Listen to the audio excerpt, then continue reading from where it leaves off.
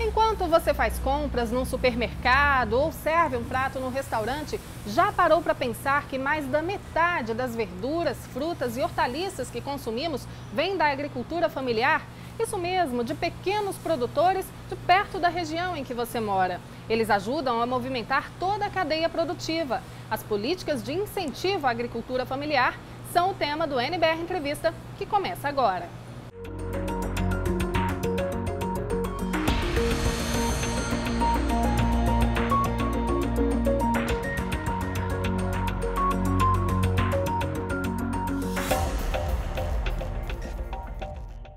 Nosso convidado de hoje é o José Carlos Zukovski, diretor do Departamento de Financiamento e Proteção da Produção da Secretaria Especial de Agricultura Familiar e do Desenvolvimento Agrário. Bem-vindo ao NBR Entrevista.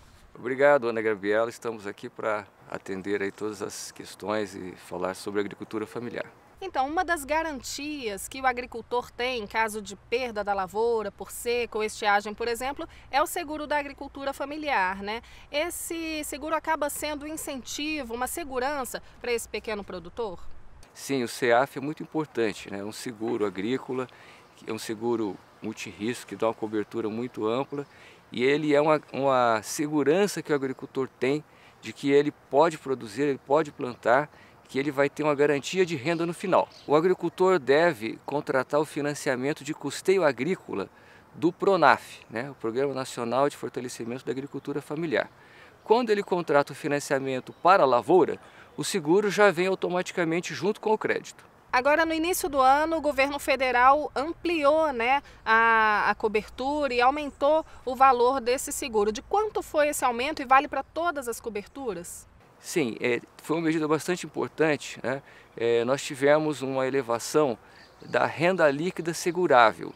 O que, que é a renda líquida segurável? O seguro ele cobre até 80% da receita do agricultor com a lavoura. Né?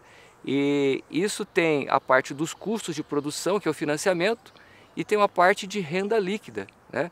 que é realmente aquilo que o agricultor vai receber de fato, porque ele tem que cobrir os seus custos e aí vai gerar uma renda líquida. Essa renda líquida segurável, ela tinha um limite de 20 mil reais. Mas assim, para muitas culturas, para muitas lavouras, esse limite era muito pequeno, né? principalmente aquelas lavouras que têm um valor da produção mais alto por hectare, né? uma densidade econômica por hectare maior. Então nós temos lavouras permanentes, são frutas, por exemplo, né? É, temos olerícolas, que são, por exemplo, lavouras de tomate, batata, é, pimentão, é, essas, essas hortícolas assim, que têm um, uma intensidade econômica por hectare maior, então os custos por hectare são maiores e o valor da produção por hectare é maior. E aí esse limite de 20 mil ficava muito baixo para essas, essas culturas, para essas lavouras. Então nós tivemos um aumento de 20 mil para 40 mil, ou seja, dobrou, né? É, do, dobrou o valor da receita líquida segurável. Né? O valor segurado não dobrou, mas a parte líquida né, dobrou. É, e as demais culturas, tivemos um aumento de 20 mil para 22 mil. Porque as outras culturas aí não tinha tanta necessidade, foi mais um reajuste pela inflação. Todas as demais culturas? Todas as demais culturas. Então, por exemplo, todas as lavouras temporárias, que são milho, trigo, feijão, arroz, né, todas essas lavouras assim, o aumento foi de 20 mil para 22 mil o limite de receita líquida segurável. Que aí foi um aumento de 10%. Né? Foi um aumento de 10%, mas assim é referenciado à inflação. E as culturas que têm uma densidade econômica por hectare mais alta, aí nós tivemos um aumento é, que não estava referenciado à inflação, mas à necessidade é, da cultura. Agora, esse reajuste já era uma demanda antiga da categoria, dos agricultores familiares? Sim, é bem antiga, já faz vários anos que essa questão vem sendo discutida, né? E havia a necessidade de fazer essa elevação. Na verdade, é, quando o seguro começou, esse limite de renda líquida era bem pequeno, porque, porque não havia assim, é, referências estatísticas para que o governo tivesse segurança na definição desse limite. Então ele começou bem pequeno, na medida que o seguro foi operando e ele foi mostrando a viabilidade né, do programa, o nosso seguro é um programa assim que tem conseguido é, é, alcançar uma sustentabilidade técnica, financeira, econômica é, compatível com a realidade do mercado de seguros em todo o mundo, né, um seguro que não deve nada para o mercado nessa área. E aí então isso deu assim é, uma base técnica para que o governo pudesse fazer essa elevação agora com mais segurança. E hoje quantos empreendimentos no Brasil contam com esse seguro? Existe um plano de aumentar a adesão? Então, nós temos hoje cerca de 340 mil agricultores segurados. Né? Todos aqueles que tomam o financiamento de custeio agrícola, né, eles podem ter acesso ao seguro. A gente realmente vem trabalhando a questão da ampliação do seguro já ao longo do tempo. E aí uma outra medida muito importante que o governo adotou no início deste ano. Né? Por quê? Porque quando o seguro começou, nós tínhamos oito culturas no seguro. É, havia uma, uma regra que só podia entrar no seguro as culturas que estavam no zoneamento agrícola de risco climático. Tá? E, e, e, havia apenas sete culturas no zoneamento. Naquele ano, que foi em 2004, foi acrescentada mais uma cultura no zoneamento. Então nós começamos com oito culturas. Mas a agricultura familiar é muito diversificada, ela trabalha com muitas culturas. Então a cada ano nós fomos ampliando o zoneamento agrícola. Né? Ele foi é, é, acrescentando novas culturas. Fizemos um trabalho junto com o Ministério da Agricultura e a Embrapa para fazer essa ampliação. E ao longo de vários anos é, nós fomos ampliando, chegamos a 50 culturas no zoneamento. Então, uma novidade de 2017 também é a ampliação desse número de culturas atendidas.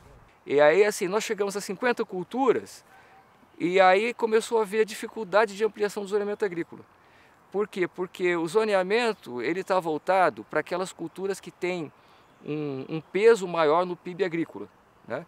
E ele é muito complexo, ele tem um custo operacional que é considerável e aí não tem, não tem assim, é, justificativa para você fazer é, uma metodologia complexa de zoneamento agrícola para culturas que têm uma participação menor no PIB agrícola. Só que no Pronaf nós temos mais de 150 culturas e a gente precisava atender essas culturas. Então o que nós fizemos? Nós desenvolvemos estudos é, que mostraram a viabilidade de a gente incluir essas culturas no seguro, mesmo que elas não estejam no zoneamento agrícola, mas tem uma condição, elas precisam ter indicação da assistência técnica. Então isso é possível de se fazer, os estudos técnicos mostraram. Né? Então o que, que, é necessário? É necessário tão somente que é, haja um estudo técnico de uma entidade desse setor, da assistência técnica, que aponte as condições ali de plantio dessa cultura. Agora, na prática, diretor, como o agricultor deve solicitar o seguro em caso de perda?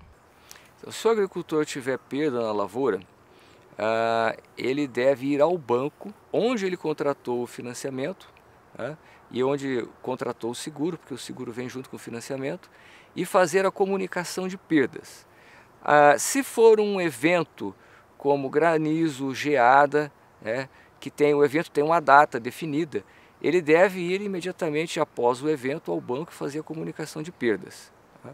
Se for um evento como estiagem, como seca, um evento que é contínuo, não tem um dia definido daquele evento, então ele vai ao banco três semanas antes da época que ele está prevendo para a colheita. Né? Ele vai ao banco, ele vai preencher um formulário, vai fazer a solicitação é, de vistoria, né, a solicitação de pagamento do seguro, e o banco vai mandar um técnico na lavoura. Esse técnico vai fazer uma vistoria na lavoura, aí ele vai verificar o que de fato aconteceu ali, que evento que atingiu a lavoura, né, quais são as perdas, vai fazer a estimativa da produção, vai preparar um relatório e vai encaminhar ao banco. O banco tem uma equipe técnica que vai fazer a análise né, desse processo e vai verificar se tem direito à indenização, qual é o valor da indenização, né, para que então se possa fazer o pagamento ao agricultor. E qual o prazo médio da liberação desse recurso, dessa indenização? É, costuma ser rápido ou esbarra aí numa certa burocracia? É, tem procedimentos normais de seguro, né, mas assim é, é relativamente rápido, é, porque tem prazos para o técnico e da lavoura. Né, é, ele, o prazo máximo para a lavoura é de oito dias, tem prazo para o banco fazer a análise depois, que é um prazo máximo de 15 dias. Né, e terminou todo o processo, é, o pagamento está saindo aí aproximadamente entre duas e três semanas. Então, assim, qual que é a ideia? A ideia é que, na época que o agricultor iria vender a produção, aproximadamente nesse momento que ele iria vender a produção, é o momento que a gente procura então fazer o pagamento do seguro. E que região do país historicamente tem maior número de contratações do seguro? Existe esse dado? Sim, é, o seguro ele é, tem um, um, uma quantidade maior de agricultores na região sul. Por quê? Porque na região sul há um volume maior de agricultores familiares é, que tomam o crédito do Pronaf. Né? Nós temos agricultores familiares em todo o país, mas a região sul é, é mais assim, tem uma agricultura familiar mais organizada, mais estruturada e que tem um, um, um desenvolvimento bastante é, significativo aí no, em termos técnicos de produção, né, uma quantidade grande de agricultores. Nós temos muitos agricultores no Nordeste, mas no Nordeste o perfil do agricultor está é, tá mais próximo aí da linha de pobreza e muitos deles eles não tomam o crédito né, por causa do, do seu perfil. É, e nós temos também outro programa ali no, no Nordeste. Então o CEAF ele está voltado para aquele agricultor que ele é um agricultor empreendedor, que está integrado ao mercado e que acessa o crédito. Esse agricultor ele tem uma quantidade maior na região sul. O Rio Grande do Sul é onde nós temos o maior número de agricultores, com esse perfil, Paraná em seguida e depois Santa Catarina. E qual a importância de antes mesmo de contratar o seguro da agricultura familiar, o produtor buscar orientação, assistência técnica para sua lavoura? Sim, isso é muito importante porque a assistência técnica ela vai ajudar o agricultor a ter o melhor resultado da sua lavoura. Né? É, a assistência técnica ela, ela começa orientando sobre que cultura plantar. Aqui é melhor é feijão, ou que cultura que é, é milho, ou qual a tecnologia também a ser empregada. Né? Então a assistência técnica vai orientar em diversos aspectos cuidados que ele tem, tem que tomar para evitar riscos que são desnecessários, né? para ter um melhor resultado da lavoura. Porque o seguro ele cobre, mas assim não tem nenhum seguro no mundo que cobre 100%. Né? Seguro de vida, seguro de automóvel, seguro agrícola, nenhum seguro cobre 100%. Se o agricultor tiver perda, o seguro vai cobrir uma parte. No nosso caso, a gente cobre até 80% da produção. Então, se o agricultor não precisar usar o seguro, é muito melhor para ele. Né? Isso, isso vale para qualquer tipo de seguro. No seguro de carro, por exemplo, você tem uma franquia, não é isso? Então, se você não precisar usar o seguro, é melhor. A assistência técnica vai orientar a ele a ter um resultado melhor da lavoura. E o nosso objetivo é que o agricultor possa plantar e colher. Ele possa produzir e é, gerar alimentos, né, produzir alimentos para levar à mesa dos brasileiros e também contribuir para as exportações. Então, se ele não precisar do seguro, é melhor. E assistência técnica é muito importante para atingir esse objetivo. E diretor, existe também uma outra característica de agricultor familiar, que é aquele que está na linha da pobreza, que produz ali com a família para o próprio consumo. Nesse caso, qual a garantia do governo federal para dar uma segurança para esse tipo de agricultura familiar? Então, nós temos, é, o governo federal tem alguns programas específicos para esse público. E na área de, de, de garantia contra eventos climáticos, nós temos o programa Garantia Safra. Né? É um programa que ele está atuando no semiárido brasileiro, região da Sudene. É para um, um agricultor que tem um perfil é, de pequena produção, área bem pequena, tem um limite de renda da ordem de um salário e meio, um, um, um e meio salário mínimo, né? É, e tem um limite, tem um limite de quatro módulos fiscais, né? E tem que plantar pelo menos 0,6 hectare e no máximo 5 hectares é, para ter acesso ao programa. Mas em síntese, é assim, um agricultor que está próximo da linha de pobreza no semiárido brasileiro. O programa Garantia Safra, ele atende esse agricultor, né, tem condições específicas voltadas para esse público. É, vale lembrar, né, diretor, que tanto o seguro da agricultura familiar quanto a garantia safra é, fazem parte do PRONAF, o programa mais amplo, né, Programa Nacional de Fortalecimento da Agricultura Familiar, que financia projetos individuais e coletivos. A gente mostra agora para você a história de um agricultor familiar que pegou um crédito do PRONAF e utiliza os recursos para inovar a produção. Olha só. William era empregado em uma fazenda. Há oito anos foi morar em uma pequena propriedade na colônia agrícola Lamarão, no Distrito Federal. A vida dele mudou. Começou a plantar hortaliças, virou dono do próprio negócio, mas enfrentou dificuldades. Nessa região, a dificuldade maior é a água. Em primeiro momento é a água, porque a gente tem córregos, bem pouco volume de água. É, a gente acrescenta com poço, né? E o primeiro é a água e o segundo é, é as pragas. Repolho, pimentão, berinjela. Cultivo que exige uma irrigação adequada. A solução foi construir um tanque que armazena água suficiente para toda a horta. Para isso, o produtor contou com créditos do governo federal e não parou por aí. O trator, ele também comprou com créditos do Programa Nacional de Fortalecimento da Agricultura Familiar, o PRONAF. O trator facilitou, eu faço na hora certa, ainda consigo fazer serviço para os outros agora também. Já é um dinheiro a mais. Hoje, com 7 hectares, o William quer investir cada vez mais na produção. O meu projeto é começar com estufa, né? Tentar estufa, uma área coberta, porque na época da chuva a gente tem tendo uma área coberta, a gente consegue produzir na época que, que é mais difícil, né?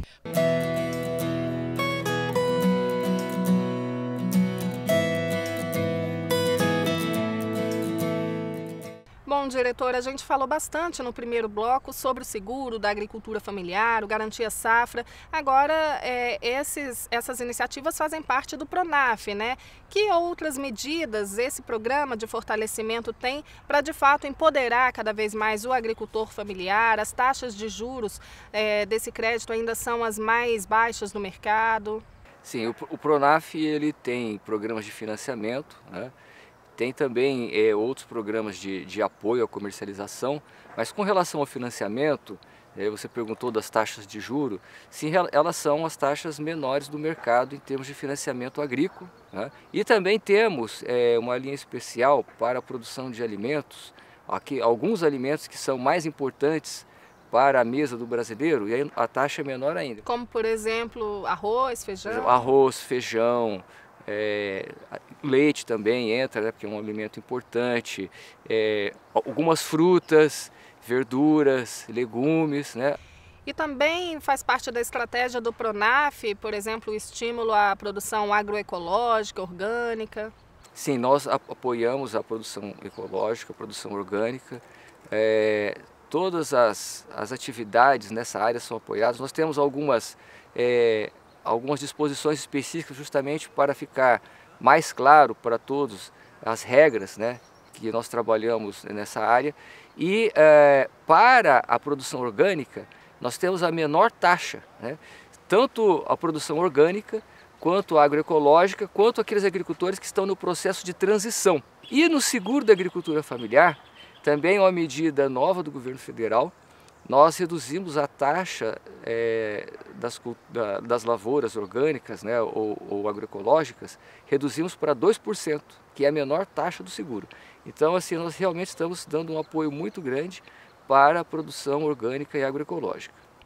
Agora, uma vertente que tem se fortalecido em algumas cidades brasileiras é a agricultura familiar urbana. Isso mesmo, ali no meio de prédios e casas pode ter um cantinho cheio de aromas e sabores. Você vai conhecer um deles agora na reportagem da TV NBR e fica lá no Rio de Janeiro. Olha só.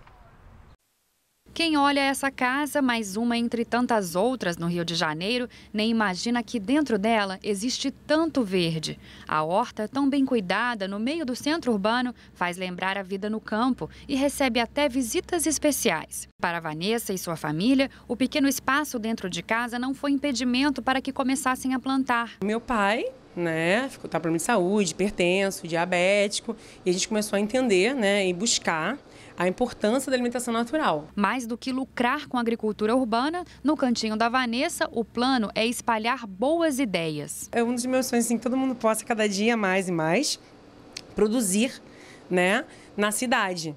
Esse é o quintal da Vanessa. Só aqui nesse trechinho de aproximadamente 30 metros a gente encontra raízes, hortaliças, fitoterápicos, temperos e muito mais.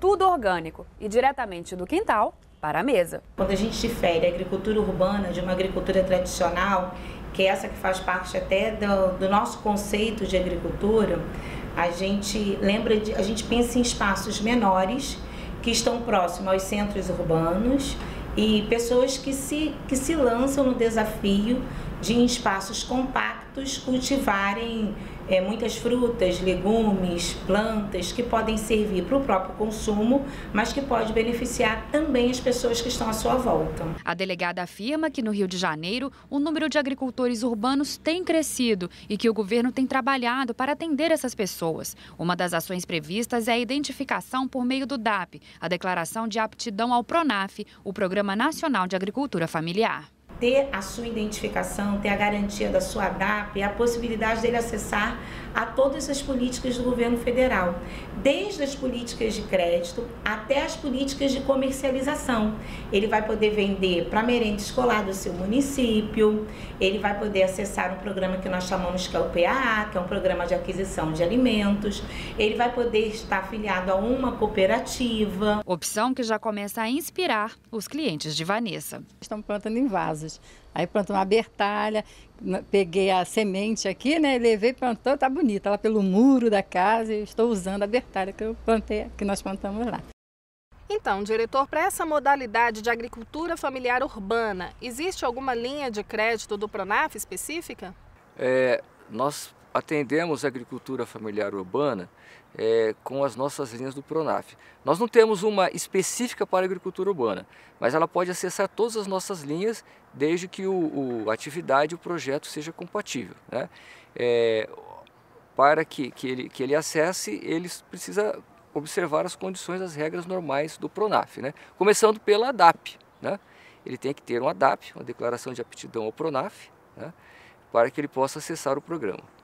E nesse caso também tem disponível para esse produtor o seguro da agricultura familiar? Sim, o seguro atende, né, desde que seja é, é, que ele contrate o financiamento de custeio agrícola do Pronaf, o seguro pode atendê-lo. Agora, para ficar claro, qualquer setor de uma cidade pode ter um agricultor familiar urbano ou existem lugares específicos que podem dar entrada no Pronaf, por exemplo? Então, é, é preciso observar o, o zoneamento urbano. Né? Aí cada município tem as suas regras de zoneamento urbano.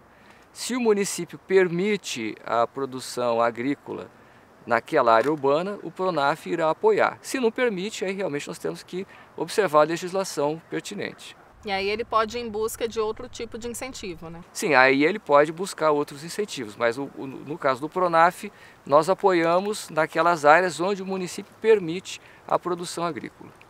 Agora, esse ano também foram aprovadas e publicadas novas regras para jovens agricultores dentro do Pronaf, né? Qual é a novidade, diretor? Então, o jovem agricultor, é, ele é apoiado pelo Pronaf, né? ele já sempre foi apoiado, e nós tínhamos uma DAP que era chamada de DAP acessória, que estava vinculada à família. Então ele estava vinculado lá, o seu pai vinculado à família e recebia essa DAP acessória. Ah, o jovem que, que quiser desenvolver um empreendimento próprio, né, que ele vai conduzir independentemente da sua família, agora ele pode, né, vai ter um ADAP, um ADAP normal para ele, né, onde ele vai poder fazer o desenvolvimento desse empreendimento.